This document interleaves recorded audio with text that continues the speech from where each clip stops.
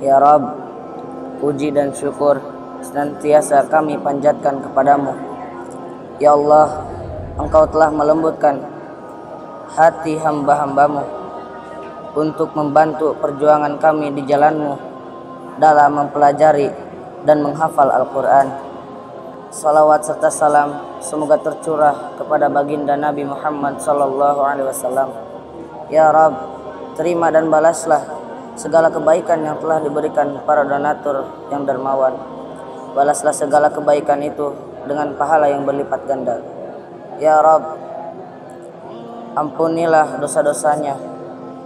Jadikanlah keikhlasan amal kebaikannya dan jadikan keluarga mereka sakinah, mawadah, warahmah dan karunai mereka dengan anak yang soleh dan soleha hingga mereka diberikan rezeki yang halal dan baik.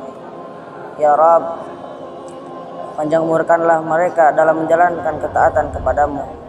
Wafatkan mereka dalam keadaan husnul khatimah dan masukkanlah mereka ke dalam surgamu. Ya Allah, amin, amin ya rabbal alamin.